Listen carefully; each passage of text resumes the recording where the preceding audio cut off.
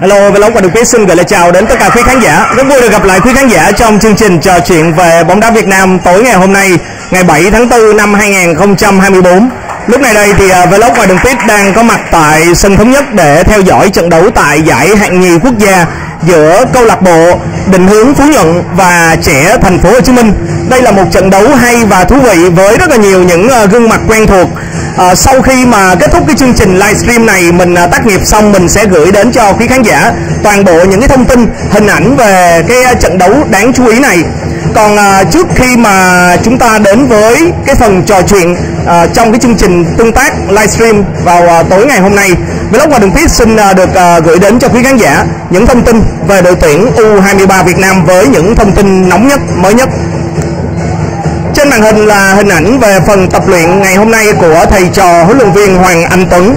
Và xin được à, chia sẻ cùng với quý khán giả là ngày hôm nay thì à, nhà cầm quân người Khánh Hòa đã nói lời chia tay với hậu vệ Phan Tuấn Tài. U23 Việt Nam đang được rèn giũa nhiều phương án tấn công với trọng tâm là lối chơi tốc độ, bóng ngắn. Chiều ngày 7 tháng 4, U23 Việt Nam ra sân tập buổi cuối cùng tại Trung tâm Đào tạo trẻ của Liên đoàn bóng đá Việt Nam à, vào sáng ngày mai lúc 8 giờ 40 phút sáng thì đội tuyển U23 Việt Nam sẽ lên đường sang Qatar tập huấn và thi đấu giao hữu với U23 Jordan vào ngày 10 tháng 4 trước khi chính thức bước vào vòng chung kết của giải U23 châu Á năm 2024. Ở buổi tập ngày hôm nay, huấn luyện viên Hoàng Anh Tuấn chia toàn đội thành nhiều nhóm nhỏ, thực hiện các bài tập chiến thuật phối hợp trong cự ly ngắn ở biên, trung lộ và thực hành thi đấu đối kháng. Các nhóm nhỏ bao gồm những cầu thủ có vị trí gần nhau hoặc phục vụ cho một yêu cầu chiến thuật cụ thể như chuyển đổi hướng tấn công, xuống đáy biên rồi căng ngang. Về tình hình nhân sự, U23 Việt Nam đã nói lời chia tay với hậu vệ Phan Tuấn Tài vì chấn thương đầu gối. Ở vị trí này, huấn luyện viên Hoàng Anh Tuấn đang có nhiều sự thay thế bao gồm tân binh Nguyễn Thành Khải, biên chế câu lạc bộ SHB Đà Nẵng, Nguyễn Ngọc Thắng, biên chế câu lạc bộ Hồng Lĩnh Hà Tĩnh cho vị trí trung vệ lệch trái, Khuất Văn Khang thể công Việt theo, Hà Văn Phương, Hoàng Văn Toản của Công an Hà Nội cho vị trí cánh trái. Chia sẻ trước buổi tập, trung vệ Lương Di Cương cho biết toàn đội đều đang có tinh thần tốt và có sự chuẩn bị kỹ lưỡng cho vòng chung kết U23 châu Á năm 2024. Chuẩn bị cho giải đấu, toàn đội được củng cố về nền tảng thể lực. Bản thân tôi khá tự tin và đặt mục tiêu cùng toàn đội đi xa nhất có thể. Quyết tâm thi đấu hết tất cả những gì mình có, Lương Di Cương chia sẻ. Tương tự với Lương Di Cương thì à, Khuất Văn Khang ngày hôm nay cũng đã chia sẻ mục tiêu của bản thân tôi là thi đấu thật tốt góp công sức giúp toàn đội hướng đến tấm vé dự Olympic Paris năm 2024. Ban huấn luyện của đội đã động viên tinh thần toàn đội truyền nhiệt huyết khát khao tinh thần thi đấu vì mặt màu cờ sắc áo. Tôi từng có kỷ niệm buồn ở Qatar, nhưng đó cũng là động lực để bản thân phát triển tốt hơn. Một trong những nét nổi bật trong các buổi tập của U23 Việt Nam là những nụ cười thường xuyên thức xuất hiện ở các cầu thủ.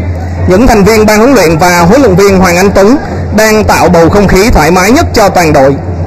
Xin được à, chia sẻ cùng với quý khán giả như vậy là với cái thông tin mới nhất liên quan đến trường hợp của Khuất Văn Khang, à, xin lỗi Phan Tuấn Tài thì uh, có thể nói là uh, một cái sự thiệt thòi khá là lớn dành cho hai cầu thủ mà trước đó được uh, huấn luyện viên Philip Thuse rất trọng dụng ở các đội trẻ cũng như là đội tuyển quốc gia trong thời gian vừa qua. Đó là hai bạn Võ Minh Trọng và Phan Tuấn Tài. Cả hai đều đã gặp chấn thương và không thể đóng góp cho đội tuyển U23 Việt Nam ở hành trình tham dự vòng chung kết của giải U23 châu Á năm 2024 diễn ra tại à, Doha, Qatar.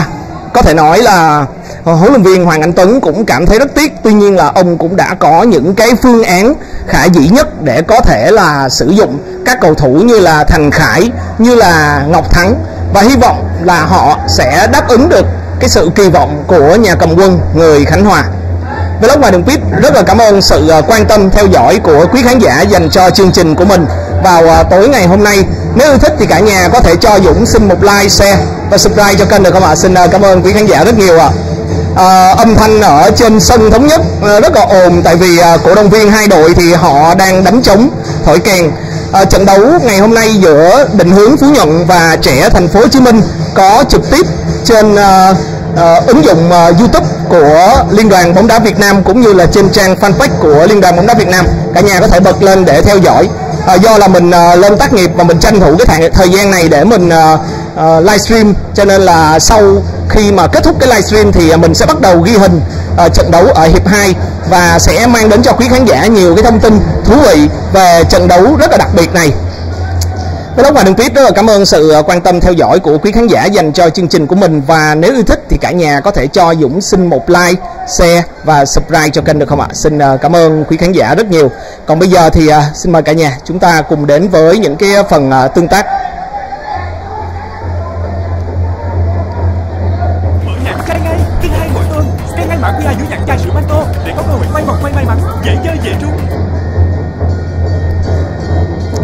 Wow, à, lúc này đã có hơn 520 khán giả đang à, theo dõi livestream của Dũng rồi.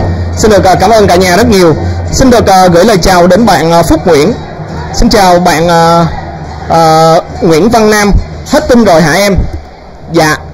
À, à không, à, anh à, muốn hỏi thông tin gì ạ? Xin chào bạn à, Nga Trần, bạn à, Lê Quỳnh, bạn à, Nguyễn Hữu Trí. À, rất là vui khi được à, tương tác cùng với quý khán giả ở trong à, một à, cái à, sân bóng như thế này rất là thú vị ạ, đúng không ạ? À, cả nhà có thấy không ạ à, chỉ có vlog ngoài đường pit thì mới có những cái chuyến đi liên tục để mang đến cho quý khán giả nhiều thông tin đa dạng nhất có thể về bóng đá Việt Nam thôi ạ à. xin được à, cảm ơn cả nhà rất nhiều xin chào bạn à, Lê Quỳnh bạn à, Nguyễn Hữu Trí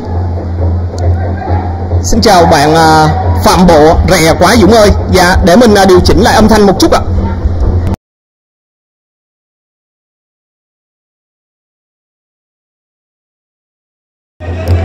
Xin chào bạn ờ, Hậu Nguyễn.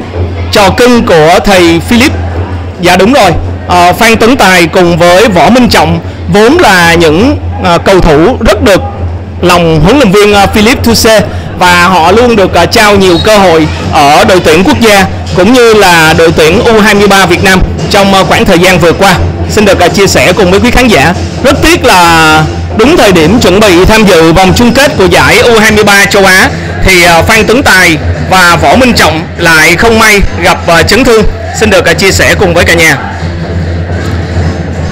Xin chào bạn Lưu Gia Huy. Chào bạn thị trường chuyển nhượng giữa mùa đã khép lại trong khi câu lạc bộ Khánh Hòa không có một sự bổ sung nào thì liệu khả năng trụ hạng là bao nhiêu phần trăm? Uhm, nói tóm lại thì không thể đưa ra được cái ờ, phần trăm về cái khả năng trụ hạng. Nhưng xin được uh, chia sẻ cùng với quý khán giả là lúc này đây thì câu lạc bộ Khánh Hòa bị nhận định là đội bóng có nguy cơ rớt hạng cao nhất ở mùa giải 2023-2024 này vì uh, như các bạn cũng biết rồi khi uh, kết thúc cái giai đoạn lượt đi cái việc mà đứng ở vị trí cuối cùng trên bảng xếp hạng luôn là một cái điều gây ra rất nhiều khó khăn cho các đội bóng. Trong lịch sử của V-League thì uh, những cái đội mà đứng ở vị trí cuối cùng trên bảng xếp hạng khi kết thúc giai đoạn lượt đi rất có uh, nguy cơ là rớt hạng cuối mùa. Và điều này nó đã được chứng minh qua nhiều giải đấu rồi. Bởi vì khi mà bạn đứng ở vị trí cuối cùng trên bảng xếp hạng thì sau đó khi mà bước vào cái giai đoạn lượt về bạn rất có cái khả năng cao là sẽ bị các đối thủ họ đánh hội đồng. Lúc này đây thì không biết là cả nhà nghe âm thanh đã ổn chưa à, à âm thanh bị rè để Dũng điều chỉnh lại một xíu nữa.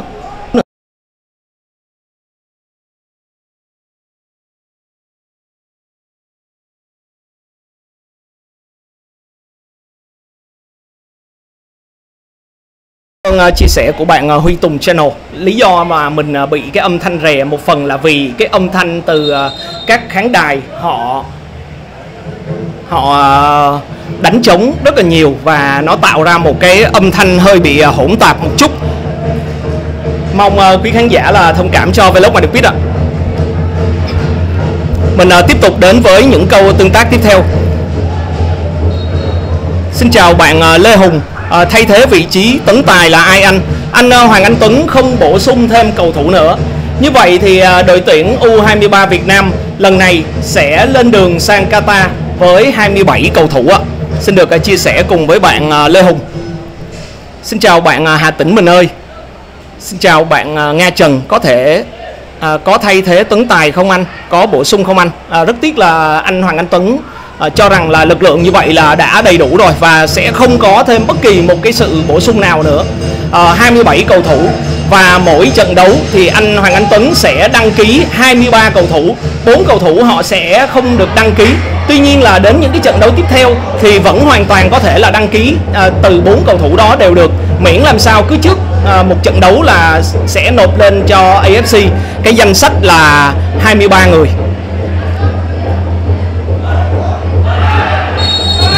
Xin chào bạn à, Hà Tĩnh mình ơi. Hữu Dũng nói đúng Tiếc là không có tiền đạo đình tiến. Xin à, cảm ơn chia sẻ của bạn à, Hà Tĩnh mình ơi. À, lúc này đây thì cái trận đấu giữa đội định hướng Phú Nhuận và trẻ Thành phố Hồ Chí Minh á, diễn ra rất là căng thẳng. Hai đội đá mà mình luôn có cảm giác như là sắp đánh lộn tới nơi. Xin chào bạn ẩm thực và âm nhạc Duy Cương thường mắc lỗi. Và xin cảm ơn chia sẻ của bạn ẩm thực và âm nhạc tất nhiên là có những cái trận đấu lương di cương mắc lỗi và khiến cho người hâm mộ bóng đá Việt Nam cảm thấy rất là lo lắng. Tuy nhiên là bóng đá nó là như thế và các cầu thủ trẻ họ cần phải được thi đấu nhiều hơn để mà họ biết cái cách uh, khắc phục và sửa chữa những cái uh, sai lầm đó. Cái chuyện mà cầu thủ trẻ mắc sai lầm là chuyện rất là bình thường trong bóng đá và họ cần được rèn giũa nhiều họ cần được trao nhiều cơ hội để mà họ um, thi đấu tốt hơn lên họ nâng cao được cái năng lực chuyên môn và từ từ thì họ sẽ biết cách để hạn chế được những cái lỗi lầm của họ những cái sai sót của họ. Thực tế mà nói thì ở mùa giải hạng nhất năm nay lương di cương đóng góp rất là nhiều cho câu lạc bộ ờ, uh, shb đà nẵng trong cái hành trình uh, tham dự cái giải hạng nhất quốc gia. Và lúc này đây thì shb đà nẵng họ đang là đội bóng đứng trong nhóm uh, có khả năng lên hạng cao nhất ở V-League mùa giải tới đây Xin chào bạn uh, Khoa Trần Xin chào bạn uh, Lê Minh Phong Chào Dũng, có phải tiếng nói của người hâm mộ đến VFF khá yếu hay nói chính xác hơn là không đủ sức nặng để VFF phải lên tiếng và chỉ cần VFF im lặng là mọi chuyện sẽ xong. À, xin cảm ơn chia sẻ của bạn Lê Minh Phong. À, thực tế thì à, à, Liên đoàn bóng đá Việt Nam họ là một tổ chức xã hội nghề nghiệp. Và chính vì vậy mà cái sức ép của người hâm mộ à, họ tạo ra một cái hiệu ứng lớn thì nó sẽ ảnh hưởng đến cái suy nghĩ của các doanh nghiệp là chính tức là các cái nhà tài trợ là chính. Và họ sẽ xác định rằng là ờ à, bây giờ dư luận người hâm mộ đang không ủng hộ bóng đá Việt Nam hoặc là đang rất là uh, thất vọng về cái màn trình diễn của đội tuyển Việt Nam cũng như là uh, với uh, liên đoàn bóng đá Việt Nam chẳng hạn. Thì uh, họ sẽ không đồng hành cùng với đội tuyển Việt Nam họ sẽ không uh, tài trợ cho liên đoàn bóng đá Việt Nam thôi. Đó là một cái hình thức để tạo nên sức ép. Chứ còn thực tế mà nói thì uh, cái sức ép từ truyền thông hay là từ uh, người hâm mộ dành cho liên đoàn bóng đá Việt Nam thì như mình đã chia sẻ rồi cái chuyện này nó rất là bình thường nhiều mùa bóng vừa qua chúng ta đều đã chứng kiến cái câu chuyện đó, nhưng cuối cùng thì bình chân như vậy. Liên đoàn bóng đá Việt Nam vẫn bình chân như vậy mà thôi. Cũng rất là khó để có được những cái hiệu ứng, những cái tác động lớn về phía liên đoàn bóng đá Việt Nam để họ phải đưa ra những cái sự chịu trách nhiệm cho các cái quyết định, các cái lựa chọn của mình.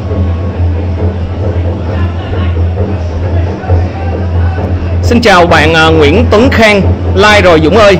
Và em à, xin cảm ơn rất nhiều ạ. Xin chào bạn à, Em chào chị à, Hiền Lam. À, Chào Dũng. Vậy là ai thế Phan Tuấn Tài? Dạ không có thay thế Phan Tuấn Tài ạ. À. Sẽ mang theo 27 cầu thủ sang à, Doha Qatar Để mà thi đấu ở à, vòng chung kết của giải U23 châu Á à, Mình à, xin được à, lốc bạn à, Hùng Mạnh. Bạn Hùng Mạnh thì à, ghi mình là lại câu like. Dạ à, xin phép được à, lốc vĩnh viễn à, tài khoản này. À, những người à, ứng xử thiếu văn hóa ở trên kênh thì bắt buộc là Dũng không cho phép họ được à, xuất hiện ở trên kênh trở lại. Xin lỗi quý khán giả làm phiền cả nhà. Xin chào bạn à, Đào Quyền. À, chia tay Phan Tấn Tài tốt quá thực tế thì à, rất là đáng tiếc chứ không phải là tốt. Bởi vì xét ở cùng uh, lứa tuổi ở cái uh, độ tuổi đó thì Phan Tuấn Tài vẫn là một nhân tố vẫn là một gương mặt giàu kinh nghiệm và rất quan trọng rất cần thiết cho đội tuyển U23 Việt Nam. Chứ không phải là tốt đâu ạ. À. thực sự là uh, kinh nghiệm là cái điều rất cần thiết đối với đội tuyển U23 Việt Nam. Phan Tuấn Tài cũng là cầu thủ được uh, rèn giũa rất là nhiều trong thời gian vừa qua xin được à, chia sẻ cùng với quý khán giả. Xin chào bạn à, Phúc Bùi. Bạn à, Nhân Trần. À, Tại sao lại chia tay Phan Tuấn Tài về em? Dạ Phan Tuấn Tài bạn ấy gặp chấn thương đầu gối ạ. Bạn ấy bị chấn thương đầu gối.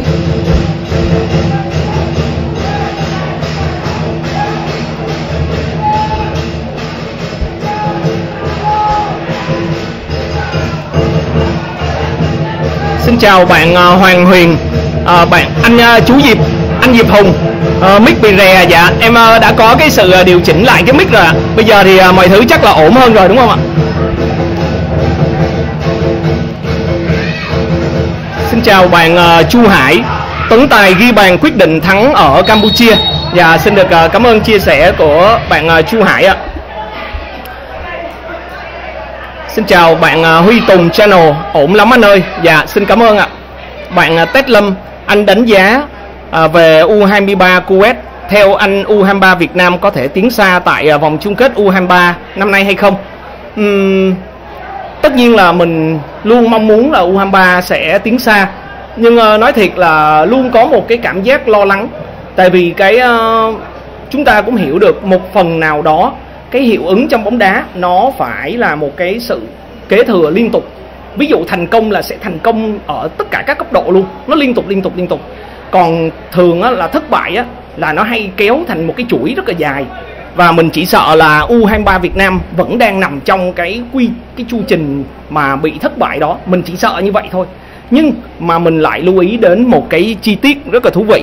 Đó là ví dụ như ở năm ngoái đi kể cả trong giai đoạn là đang không thành công ở cấp độ đội tuyển quốc gia cũng như là U23 đi. Nhưng mà với anh Hoàng Anh Tuấn thì năm ngoái anh ấy là điểm sáng hiếm hoi của bóng đá Việt Nam khi mà giúp cho đội tuyển U23 Việt Nam uh, bảo vệ thành công cái chức vô địch của giải U23 Đông Nam Á. Đó thì uh, đó chính là cái lý do, chính là cái uh, cơ sở để mình nghĩ rằng là năm nay ở vòng chung kết U23 châu Á thì à, thầy trò huấn luyện viên Hoàng Anh Tuấn vẫn sẽ để lại được những cái dấu ấn nhất định và hy vọng đó sẽ là cái điểm sáng để mang đến niềm vui cho người hâm mộ bóng đá Việt Nam chúng ta.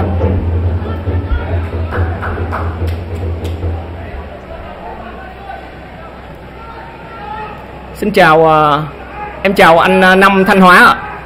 À, em có đi tác nghiệp U23 không? Dạ em không ạ, em không có tài chính để đi ạ. Xin chào bạn à, Tuấn Bùi U23 không có Tuấn Tài và Minh Trọng. Cầu thủ khác sẽ đá hay hơn. Hy vọng là những sự thay thế Như là huấn luyện viên à, Hoàng Anh Tuấn Đã chờ đợi Thì à, sẽ thể hiện được tốt cái năng lực chuyên môn. Xin được chia sẻ cùng với quý khán giả.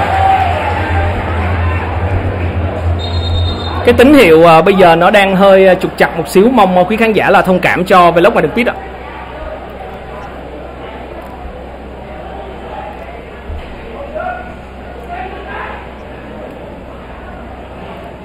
Xin chào bạn uh, Nguyễn Văn Minh. Uh, Ok đang ở sân nào đấy? Và Dũng đang ở sân Thống Nhất ạ Nơi đang diễn ra trận đấu giữa đội uh, trẻ thành phố Hồ Chí Minh và đội uh, định hướng Phú Nhuận ạ.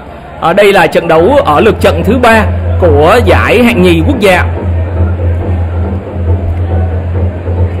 Xin chào bạn uh, gà đá miền Tây. Tấn Tài chấn thương vậy U23 Việt Nam có mất mát gì quá lớn không anh? Mình nghĩ rằng là cũng không uh, uh, cũng có những cái sự lo lắng nhất định. Tuy nhiên là với huấn luyện viên Hoàng Anh Tuấn thì anh vẫn có 27 cầu thủ và vẫn có rất là nhiều những cái phương án lựa chọn để thay thế cho cái vị trí của Phan Tuấn Tài. Chẳng hạn như là trường hợp của Nguyễn Thành Khải cầu thủ cao 1m87 mà huấn luyện viên Hoàng Anh Tuấn bổ sung ở cái giai đoạn vừa rồi hay là một uh, cầu thủ khác đó là Nguyễn Ngọc Thắng của Hồng Lĩnh Hà Tĩnh. Đây cũng là một cầu thủ có thể đá trung vệ tốt và cũng có thể đá lệch trái rất là tốt. À, Ngọc Thắng thì cao 1m81 xin được à, chia sẻ cùng với quý khán giả. Xin chào bạn à, Hồng Thanh. Chia tay Tấn Tài. Anh Tấn không khác gì Chút C Ở tuyển quốc gia Tấn Tài chưa là gì Nhưng ở U23 thì khó ai qua Tấn Tài ở vị trí đó. Và xin à, được chia sẻ với bạn Hồng Thanh. Ờ, bạn không nghe rõ thông tin ạ. À, Dũng đã chia sẻ trong đầu chương trình Đó là Phan Tấn Tài đã bị à, chấn thương ở đầu gối Và không bình phục. À, Như vậy là việc à, chia tay Phan Tấn Tài là lý do uh, chấn thương là không thể khắc phục được. Nói chung là không thể kịp bình phục chứ không phải là vì anh uh, Hoàng Anh Tuấn anh ấy uh, muốn loại Phan Tấn Tài ạ. Xin chào bạn à, Phan Ngân. Bạn à, Trần Việt. Em thấy thương các cầu thủ trẻ ghê. Đội bóng thua thì bị chửi, Phạm lỗi hay bỏ lỡ. Thì nói không biết đá, không được lên tuyển vì chấn thương. Thì nói là trò thút xê mỉa mai. Đó là cái hậu quả rất là lớn của cái chuỗi thất bại vừa qua của bóng đá Việt Nam chúng ta. Trước đó thì à, khi mà chiến thắng dưới thời của huấn luyện viên Park Hang-seo thì mọi thứ luôn rất tốt và người ta luôn nhìn theo một cái khía cạnh tích cực nhất. Đáng tiếc là dưới triều đại của huấn luyện viên Philip Thuse thì cái sự tích cực này nó đã không còn nữa.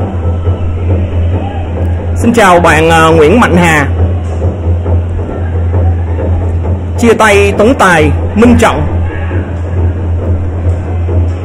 À, là hợp lý. Không ít hôm nữa xem đội đá lại bị ám ảnh. Xin chào bạn à, Trần Văn Thành, bạn ờ, Vũ Quảng, anh like cho Dũng rồi nha. Và em ờ, xin cảm ơn rất nhiều ạ.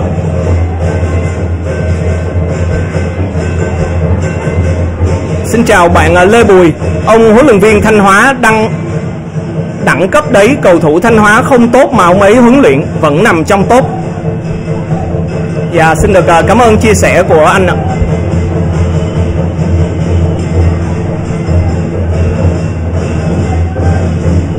Xin chào bạn ờ, Lê Trọng Nhân.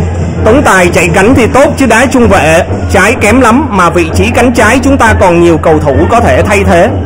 Dạ, xin được ờ, cảm ơn chia sẻ của bạn ờ, Lê Trọng Nhân. Xin chào bạn Hoàng Cương.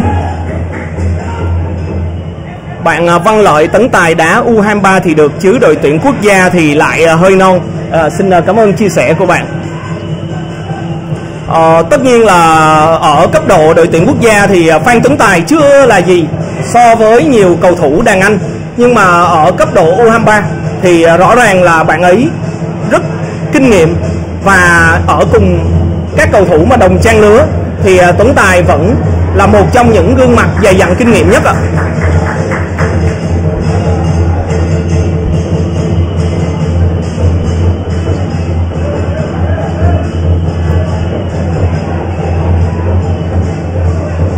Xin chào bạn à, Lê Hảo. Bóng đá Việt Nam đã là đẳng cấp gì đâu mà có người lại nói là thua nhục nhã rồi về. Một tư tưởng phá đám của người hâm mộ. Xin chào bạn à, Lê Văn Kích. Tấn Tài không có trong U23 cũng tiếc cho huấn luyện viên Hoàng Anh Tuấn đấy chứ.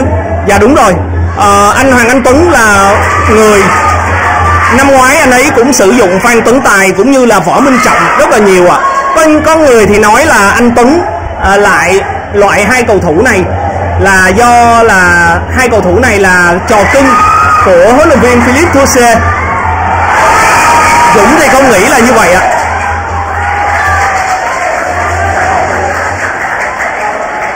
Xin lỗi quý khán giả là vừa rồi có một tình huống sóng gió trước khung thành của định hướng Phú Nhuận, Nên là các cổ động viên họ là khá là lớn. Mong cả nhà thông cảm cho vlog mà được biết ạ. Xin chào bạn ờ, Nguyễn Hữu Hiếu. Trong tất cả các ngành nghề đều có thưởng và có phạt khi làm không tốt. Chỉ có mỗi uh, các bố làm việc tại Liên đoàn bóng đá Việt Nam là chỉ có thưởng Chứ không có phạt. Một cái nghề tốt nhất trên thế giới. Xin chào bạn ờ, Gấu Chuột Vlog. Chào anh, hy vọng là U23 Việt Nam sẽ vượt qua được vòng bảng. Xin cảm ơn chia sẻ của bạn Gấu Chuột Vlog. Mình cũng mong là như vậy tại vì uh, nói chứ cái áp lực dành cho uh, thầy trò huấn luyện viên Hoàng Anh Tuấn ở giải năm nay là rất lớn. Cái trách nhiệm của anh Hoàng Anh Tuấn cũng là rất nặng nề lấy lại niềm tin của người hâm mộ bóng đá Việt Nam. Sau một cái chuỗi trận thất bại của đội tuyển quốc gia thì uh, người hâm mộ bóng đá Việt Nam lúc này um, tỏ ra không mặn mà với bóng đá Việt Nam. Thực tế là rất là rõ ràng được uh, minh chứng bằng các số liệu rất là cụ thể. Bây giờ thì chỉ trông chờ là các cầu thủ U23 Việt Nam họ sẽ có những cái trận đấu để lại được những cái dấu ấn đẹp trong lòng người hâm mộ để chí ít là lấy lại được cái niềm tin cái đã. Lúc này cái niềm tin có lẽ là cái yếu tố quan trọng nhất. Còn à, tháng 6 này khi đội tuyển quốc gia à, tập trung để mà chuẩn bị cho hai trận đấu còn lại ở bảng F gặp uh, Philippines và gặp Iraq thì uh, chỉ mong là huấn luyện viên tạm quyền kể cả là huấn luyện viên nội sẽ ít nhiều là mang lại được một cái niềm vui nào đó cho người hâm mộ bóng đá Việt Nam thôi còn có lẽ là chúng ta cần phải xác định rõ là sân chơi của đội tuyển quốc gia chính là ở ASEAN Cup sẽ diễn ra bắt đầu vào ngày 15 tháng 11 năm 2024 tới đây. Xin chào bạn à, Bình Văn 2007. Chú nghĩ U23 Việt Nam có thể tiến sâu tại vòng chung kết U23 châu Á để có vé dự Olympic Paris hay không? À, thực sự thì à, chú nghĩ là khó, hơi khó. Nhưng mà chuyện gì cũng có thể xảy ra. À, bởi vì bóng đá trẻ rất khó để khẳng định rất khó để đánh giá được. Tại vì à, bóng đá trẻ nó rất là thất thường và nó hoàn toàn có thể tạo nên những cái hiệu ứng. Nhưng mà cũng có thể là nó có thể mang lại cái sự thất vọng rất là dễ trong bóng đá trẻ là như thế. Và anh Hoàng Anh Tuấn thì anh ấy cũng đã có uh, một cái lịch sử rất là đáng nhớ với đội tuyển U19 Việt Nam từng giành vé dự World Cup U20 thế giới năm 2017 rồi.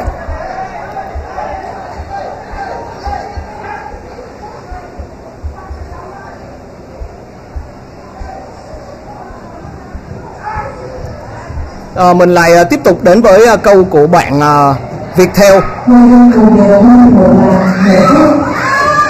À, Tấn Tài đưa ra đá hậu vệ cánh thì ok đá trung vệ thì quá lùng 1m75 xin à, cảm ơn à, chia sẻ của bạn uh, Viettel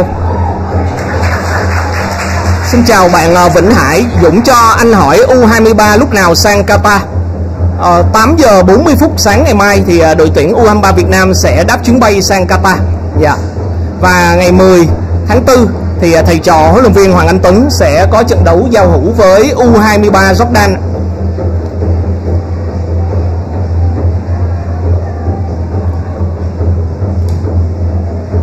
Xin chào bạn à, Tiến Hào TH. Chào buổi tối vui vẻ. À, Dũng không có Thái Sơn đúng. Dạ là sao? À, đội tuyển có đội tuyển U23 Việt Nam lần này có Thái Sơn ạ. À. Thái Sơn là cầu thủ mà giống như là huấn luyện viên à, Philip Thuse rất là ưa thích đó thì là ở đội tuyển U23 Việt Nam huấn luyện viên Hoàng Anh Tuấn cũng rất thích uh, huấn luyện viên uh, rất thích uh, Thái Sơn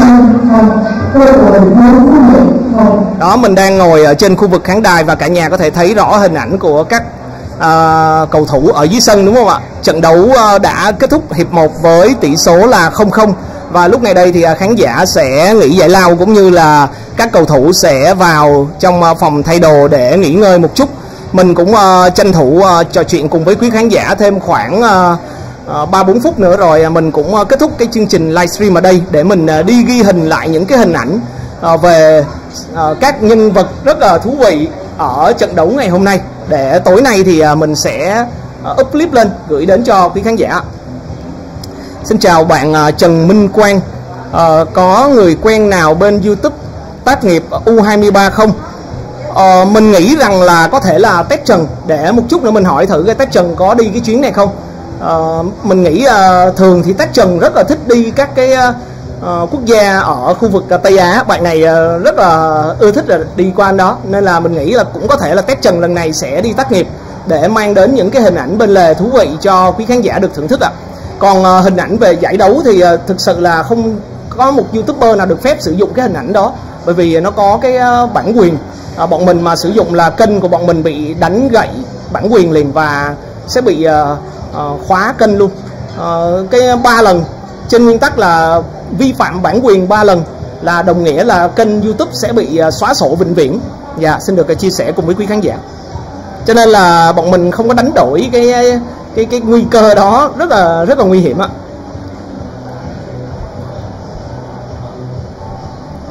Xin chào bạn Nguyễn Trung Bảo. À, Bị loại vì chấn thương Tuy nhiên là Phan Tấn Tài đá vị trí hậu vệ Mà chiều cao 1m76 thì không ổn lắm.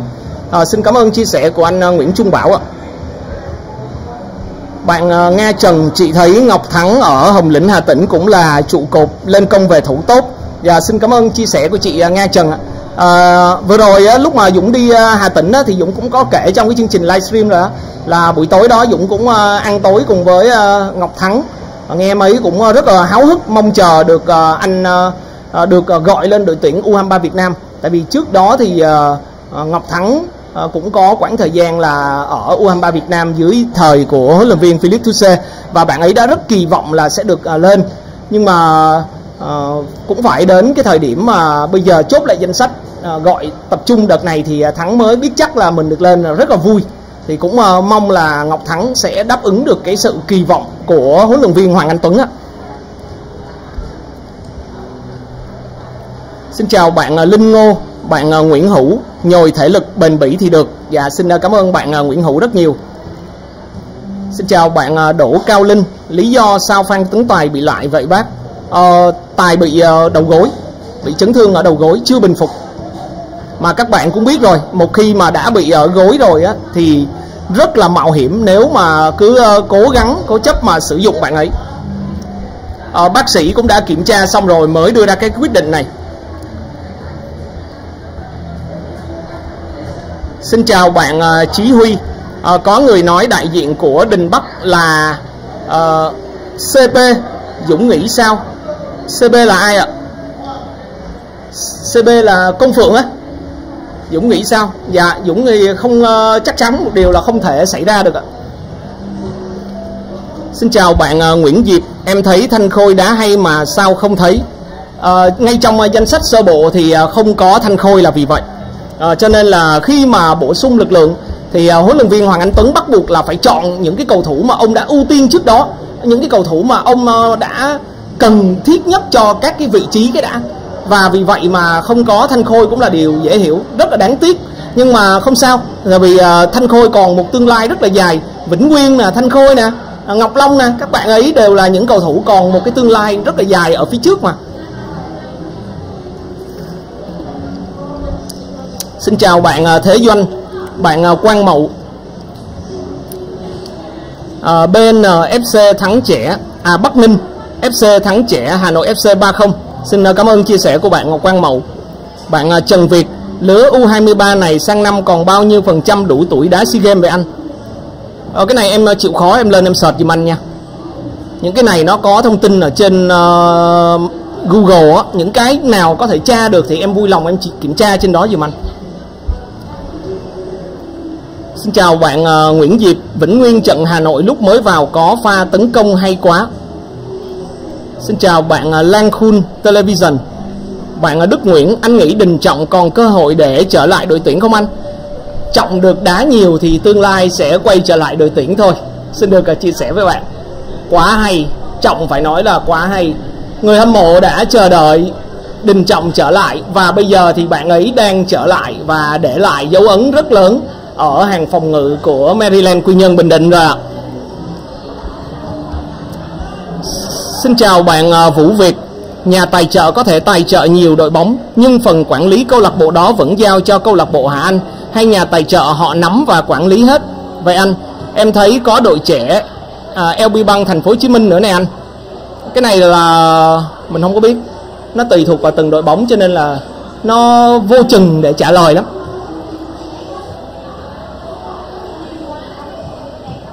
Xin chào bạn à, Phạm Hỷ. Anh không thấy uh, trợ lý huấn luyện viên thể lực người Đức em Dũng? Trợ lý huấn luyện viên thể lực người Đức? Dạ. Xin cảm ơn câu hỏi của anh Phạm Hỷ ạ. Đợt này hình như em không thấy à, uh, U23 có uh, nhân tố nước ngoài nào?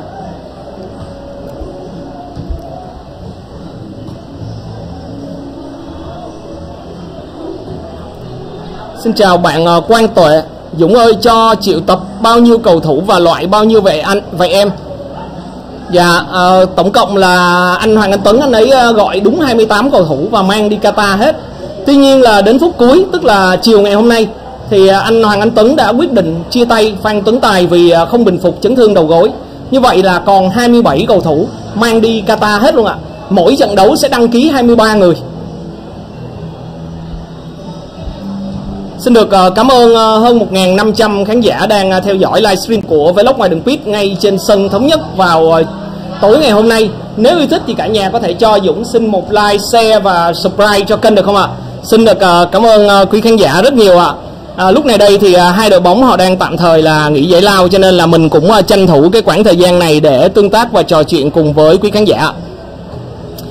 Xin chào bạn à, à, anh ờ, Lê Tuân, chào Dũng, chúc Dũng buổi tối vui vẻ và hạnh phúc nhé. Và em ờ, xin cảm ơn anh Lê Tuân ạ. Xin chào bạn Nhung Trần, âm thanh clip này ghê và khó nghe quá Dũng ơi.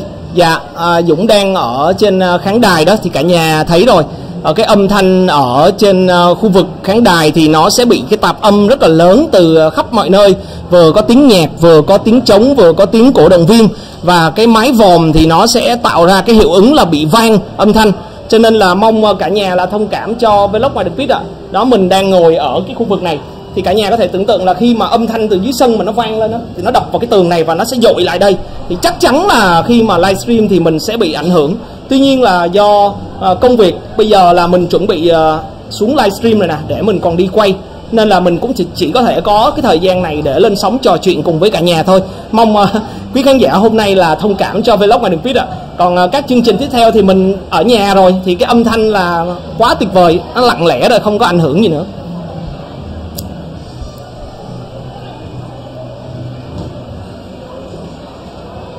Xin chào uh, bạn uh, Nguyễn Thắng. Em nói vài nét về Đinh Quang Kiệt của Hoàng Anh Gia Lai đi. Em thấy có tương lai trên đội tuyển quốc gia Việt Nam không? Và sơ lược về Roberto Donadoni Nếu ông Donadoni làm huấn luyện viên trưởng đội tuyển quốc gia Em nghĩ sao?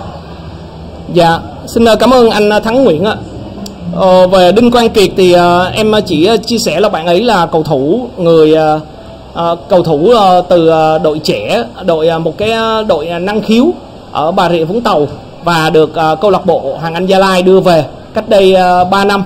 Uh, em chính là người đi quay cái chương trình về Đinh Quang Kiệt lúc đó cùng với câu lạc bộ Hoàng Anh Gia Lai uh, và hình ảnh về Quang Kiệt chỉ có em mới có thôi. Uh, lúc đó thì uh, thực sự là rất ấn tượng về cái chiều cao khủng khiếp của Đinh Quang Kiệt là cao 1m86 ở cái độ tuổi còn mới 14 15 tuổi mà cao như vậy thực sự là quá ấn tượng. Uh, sau này thì uh, năm ngoái thì em có xem Đinh Quang Kiệt thi đấu trong màu áo của U17 uh, Việt Nam dưới sự dẫn dắt của chính anh Hoàng Anh Tuấn ạ.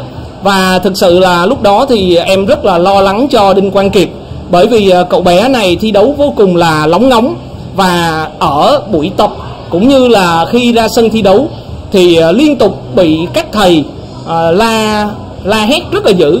Thứ hai nữa là uh, khán giả khi ở Thái Lan á cái giải U17 châu Á tại diễn ra tại Thái Lan ở Bangkok thì là Đinh Quang Kiệt cũng là một trong những cầu thủ mà khiến cho các cổ động viên ở trên khán đài các cổ động viên Việt Nam mình á chê rất là nhiều.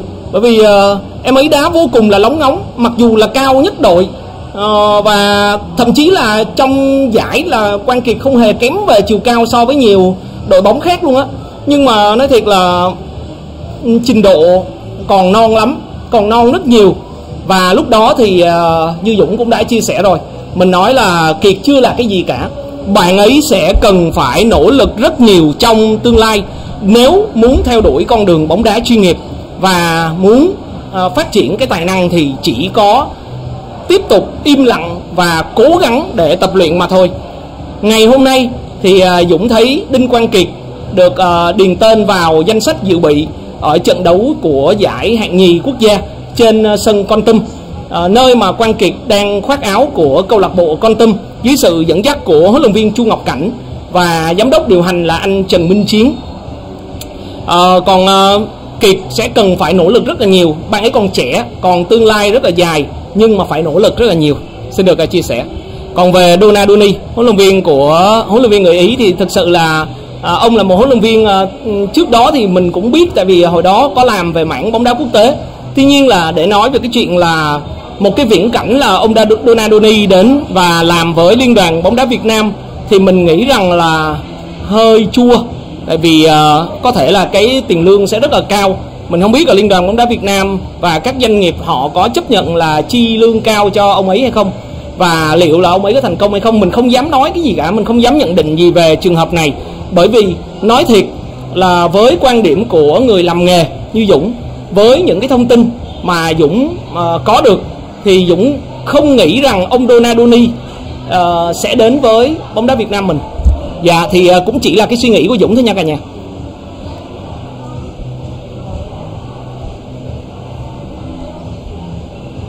Mình uh, tiếp tục đến với uh, một câu nữa đi trước khi mà khép lại cái livestream ngày hôm nay. Xin chào bạn uh, Văn Trịnh, may quá không có tài và trọng, nếu không ông Tuấn lại theo ông Philip cho đá chính không đúng sở trường thì uh, U23 lại ôm hận. Mình vẫn cảm thấy tiếc cho Phan Tuấn Tài bởi vì dù sao thì bạn ấy vẫn là sự lựa chọn của huấn luyện viên Hoàng Anh Tuấn. Nếu cả nhà xem lại cái giải đấu ờ, các cái giải đấu năm ngoái thì anh Hoàng Anh Tuấn ờ, thường xuyên là ờ, đặt niềm tin vào Phan Tuấn Tài đó chỉ tiếc là bạn ấy không kịp bình phục chấn thương thôi.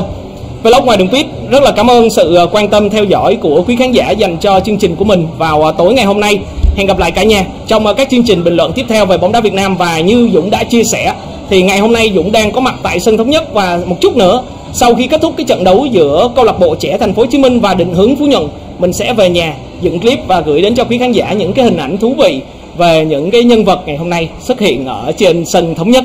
Xin mời cả nhà cùng ờ, đón theo dõi. Bây giờ thì dũng xin được ờ, chúc cả nhà một buổi tối bình an, mạnh khỏe. Và hẹn gặp lại cả nhà trong các chương trình bình luận tiếp theo về bóng đá việt nam xin được ờ, cảm ơn Lop Manto luôn đồng hành cùng với Lop Đường trong các chương trình tác nghiệp. Xin mời cả nhà. Xin chào tạm biệt cả nhà. Mở nhãn chai ngay, tin hay mỗi tuần, scan ngay mã QR dưới nhãn chai sữa Manto. Để có cơ hội quay vòng quay may mắn.